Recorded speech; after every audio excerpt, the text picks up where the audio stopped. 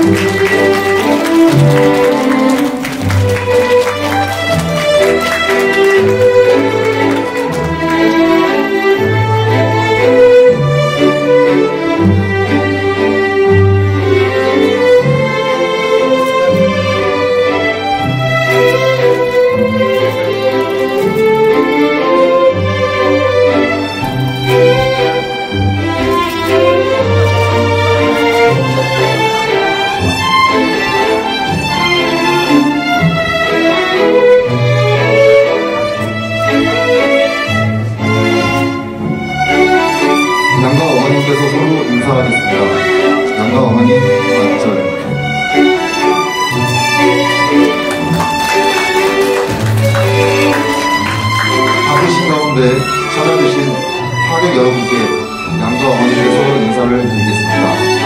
양가 어머님을 인사.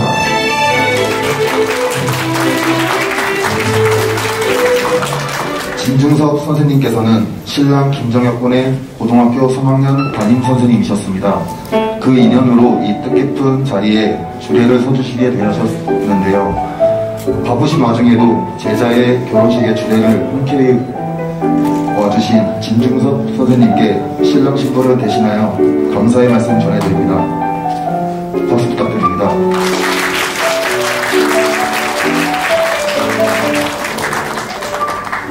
그럼 먼저 오늘의 주인공인 멋진 신랑 입장이 있겠습니다. 하객 여러분께서는 신랑 김정혁 군이 입장하면 뜨거운 박수로 축하해 주시면 감사하겠습니다. 오늘 신랑은 입장을 보 때큰 박수 부탁드리겠습니다. 신랑 입장!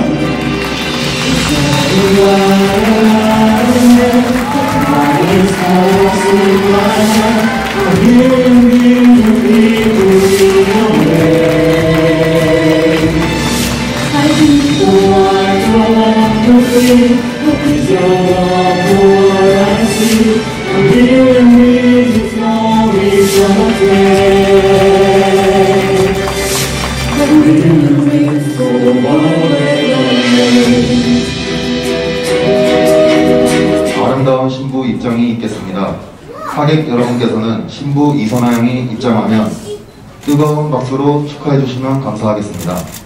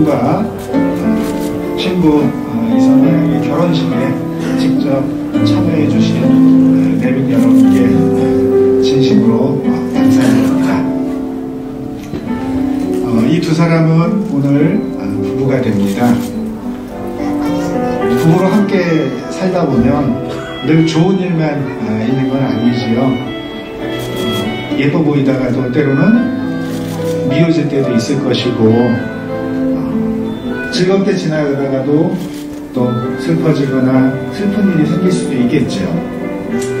서로 굳게 믿다가도 어, 실망스러운 일이 어, 생기기도 할 겁니다.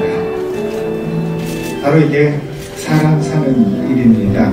이 두 사람도 부부로서 그렇게 살게 되겠죠. 하지만 이 신랑 김정혁 군과 신부 이성아 양은 이 모든 것을 함께하며 시간이 흘러서 나이가 들수록 더 아름다워지는 짝으로 평생을 함께할 것을 맹세할 수 있겠습니까? 어, 목소리가 아주 어, 우렁찹니다. 예. 다음은 두 사람이 완전한 부부임을 선언하는 성원 서문 낭독이 있겠습니다. 아, 우연히 인연이 돼서 오늘 부부의 연을 맺은 이 두 사람이 여기 모인 일가 친척과 친지들 그리고 수많은 하객들을 증인으로 평생 함께할 것을 서약을 했습니다. 이에 주례는 신랑 김종혁 군과 신부 이선화 양의 혼인이 만인의 축복 속에 이루어졌음을 즐거운 마음으로 선언합니다.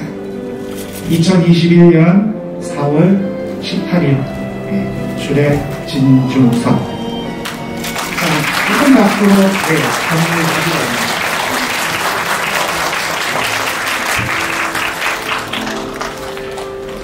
이제 주례 선생님으로부터 귀중한 주례서가 있겠습니다. 어, 사회자가 많이 긴장한 모양입니다. 이 사회자한테 박수 한번 쳐주세요. 어, 사실 어, 한 10여 년 만에 교실에서 만나던 친구들을 어, 여기서 다시 어, 반가운 얼굴들을 보니까 제가 주례를 하는 게 아니라 이거 조례나 종례를 하는 게 아닌가 하는 생각이 어, 들기도 합니다. 예. 어, 사실 오늘 어, 부부의 연을 맺은 이두 사람한테 어, 제가 해주고 싶은 말 하나가 있습니다. 그게 뭐냐면 부부가 된 오늘 이후로의 삶은 이전까지의 삶과 다를 것이다. 이겁니다. 어, 제가 살다 보니까 어, 사람의 이 일- 일생이라고 하는 게 딱 두 시기로 나눌 수 있더라고요. 결혼하기 전과 결혼하기 후. 어, 아마 이 자리에 이미 결혼을 하신 분들은 어, 제 얘기가 무슨 뜻인지 충분히 100% 공감하실 것이라고 어, 생각을 합니다.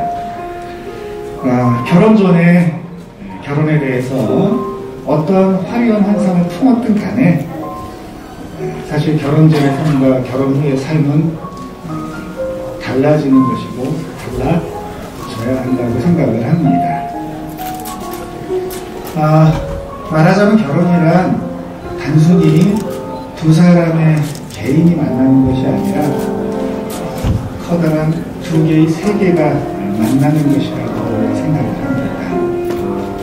어, 지금까지 서로 온전히 독립적이었던 두 세계가 만나서 오래도록 평화롭고 행복하게 공부를 하기 위해서는 과연 뭐가 필요할까요? 어, 아주 간단합니다. 세계와 세계의 만남이 평화롭게 이어지려면 서로가 상대의 세계를 인정하면 되는 것이지요. 참 간단하지만 가장 어려운 문제이기도 합니다. 어, 수많은 사람들이 에, 가슴 설레며 시작했던 이러한 두 세계의 동거가 때로는 삐걱거리고 어, 전국에는 파국을 맞이하는 일들이 벌어지는 것도 사실 어, 이 세계에 대한 인정, 어, 상대에 대한 인정을 제대로 하지 못했기 때문이겠죠. 네, 만일에 어느 한쪽이 다른 한쪽 세계를 인정하지 않고 그 세계마저도 온통 내가 차지하겠다고 어, 달려들거나 아니면 조금이라도 내가 권력을 더 많이 가지고 살아가는 동안 좀 편하게 살아보겠다고 욕심을 부리면은 어떻게 되겠습니까? 침략하는 쪽이 전쟁을 일으키겠죠. 아, 말하자면 세계의 독립 전쟁이 될 겁니다.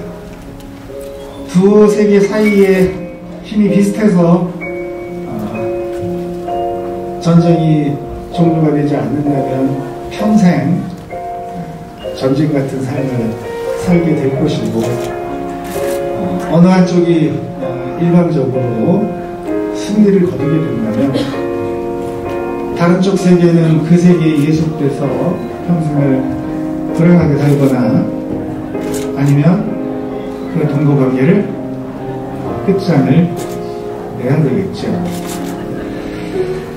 결국 어느 쪽이든 어떤 결과로 전쟁이 끝나든 전쟁은 처참한 결과를 초래하게 됩니다.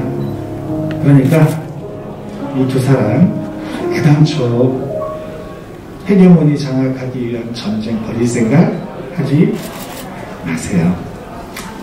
흔히 이 먼저 결혼한 결혼 선배들 또는 어른들이 어, 이런 조언을 어, 하곤 합니다.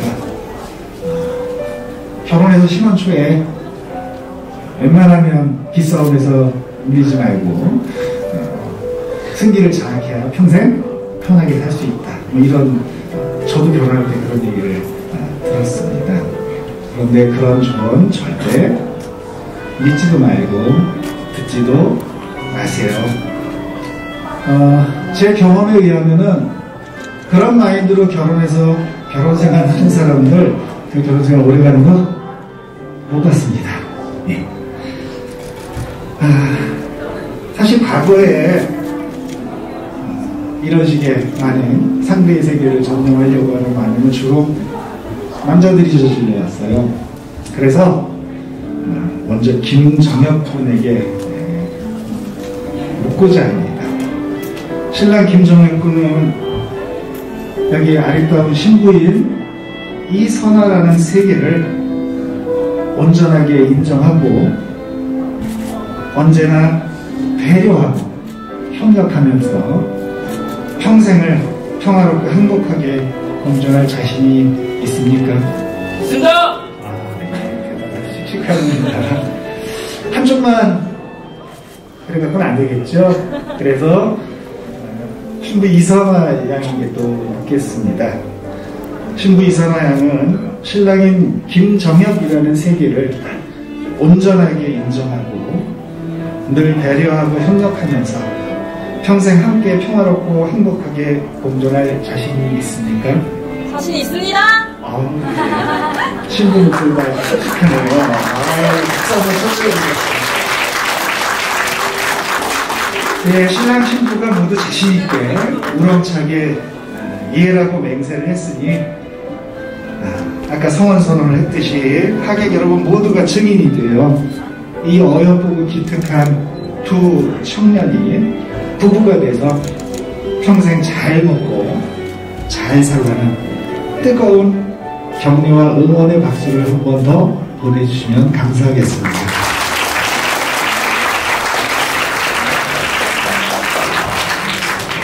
어, 고등학교 3학년 때 제가 김정은 동을 담임이었습니다. 아, 그때를 떠올리면 생각나는 몇 가지가 있어요. 어, 정혁이 하면, 어, 이 친구 참 의리 있는 친구야. 친구들이. 우리 저 사회부는 군, 어, 제 말이 맞죠? 의리하면 김정혁이죠? 네, 맞습니다. 아, 예. 아, 그리고 또 하나는, 어, 제가 참 기특하게 생각했던 것인데, 어, 늘 힘들고 어렵게, 어, 목도 꼭두 새벽부터 일하시는 부모님들을 걱정하고, 늘 그 부모님들에게 감사하는 마음을 가지고 있었던 효자였습니다. 예. 어, 저희 아버님, 어머님, 진짜 좋은 아들 두셨습니다. 예. 아, 특히 무엇보다도 제가 생각나는 거는 고등학교 3학년 시절이 되면은 사실은 성적이 좋거나 나쁘거나 공부를 좋아하거나 싫어하거나 다들 대학을 어, 가기 위해서 노심 초사를 합니다. 그래서 저학부는 좀 달랐어요. 어, 이미 일찌감치 어, 부모님이 하시는 일을 어, 이어받아서 성실하고 건실하게 어, 세상을 살아겠다는 결정을 벌써 내린 청년이었습니다. 어, 말하자면 생활력 갑이라고 할 수 있죠. 어, 게다가 늘 어, 밝고 어, 예의 바른 성품은 그야말로 덤이었습니다. 아, 제가 정혁군을 다시 만나면서 제가 알고 있는 그런 정혁군 모습 그대로 정말 잘 살아온 것 같다는 아, 느낌을 받았습니다. 의리 있고 효심 깊고 생활력 강하고 늘 밝고 어, 예의 바른 청년 신랑 가운데 최고 아닙니까? 그렇죠? 네. 사실 앞에 있는 신부 이선아 양은 어, 제가 잘 모릅니다. 그런데 딱 한 번 아주 잠깐 이야기를 나눈 적이 있습니다. 어, 지난주에 제가 아들을 결혼을 시켰습니다. 그런데 아이 소녀분이 자기가 바빠서 못 온다고 글쎄 아직 결혼도 안 한 예비 신부에게 축의금을 들려서 아는 사람 하나도 없는 곳에 어, 이 보낸 겁니다. 그래서 제가 아 이렇게 신부를 보냈다고 처음 보는 신부한테 신랑들 사람 한, 한 바가지는 했습니다. 어, 이 말씀을 드리는 이유가 뭐냐면 제가 오랜 세월 30년이 넘도록 교직에 몸담으면서 정말 수많은 사람들을 대하는 직업을 갖다 보니까 약간 신통방통한 능력을 갖게 됐습니다. 그게 뭐냐면 처음 보는 사람들도 그 사람의 모습이나 행동이나 말을 잠시만 듣고 보아도 그 사람이 어떤 사람일지 꽤 정확도 높게 판단하는 능력을 가졌다는 겁니다. 그날 제가 이선아 양과 잠깐의 대화를 나누고 이선아 양의 태도를 보면서 아, 이 청년 참 차분한 성격을 가지고 있구나. 아, 이 청년 참 다른 사람을 배려할 줄 아는 사려 깊은 사람이구나. 이런 생각을 하게 됐습니다. 어, 그러면서 사실 제가 정학고를 더 잘 알고 있고 더 가깝기 때문에 팔이 안으로 붙는다고 야 이거 어, 정혁이한테 참 좋은 배틀 좋은 짝이겠구나 하는 아주 즐겁고 행복한 마음을 가졌었습니다. 어, 두 사람에 대한 어, 이제 판단이 어, 크게 틀리지 않다면 이 아름다운 두 청년이 부부가 되어서 각자의 세계를 합해서 더 크고 멋진 신세계를 열 것이고 더 나아가 세 개의 세계, 네 개의 세계, 다섯 개의 멋진 세계를 낼 수도 있을 겁니다. 알콩달콩 열심히 잘 먹고 잘 살라는 말이 저의 주례사의 핵심입니다. 여러분도 동의하시죠?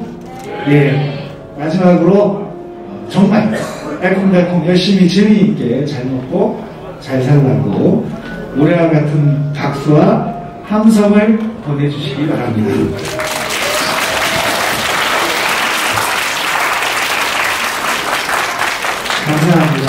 어, 이것으로써 어, 주례사를 가름하도록 하겠습니다.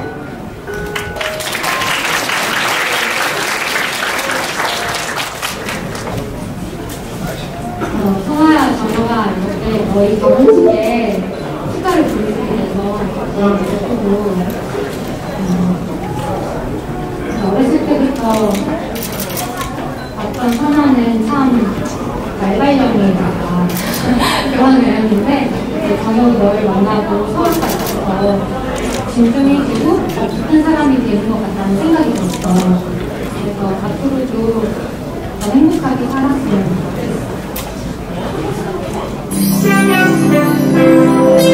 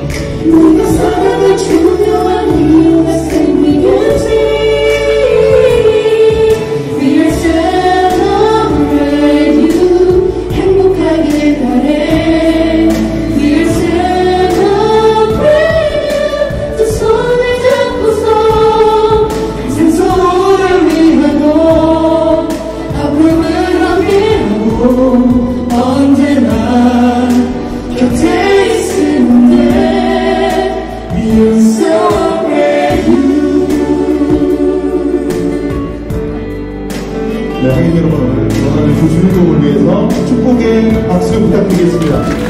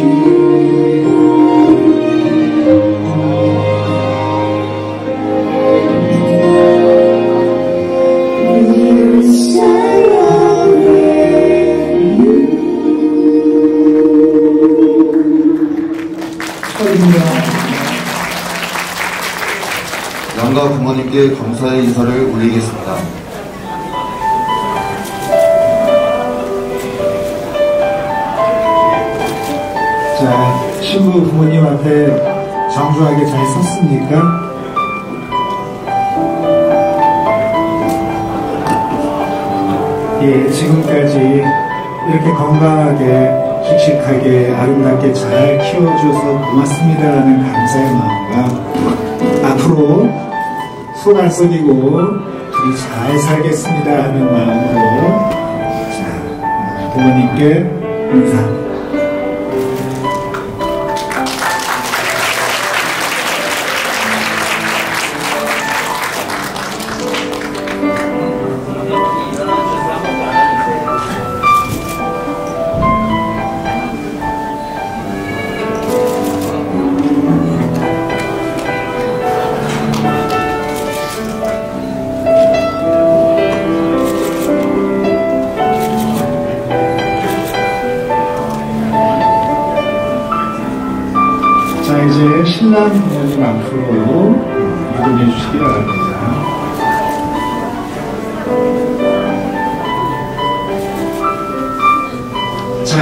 마찬가지로 지금까지 잘 키워주셔서 감사합니다. 하는 마음과 앞으로 더 씩씩하게 건강하게 잘 살겠습니다. 하는 다짐의 마음으로 부모님께 인사.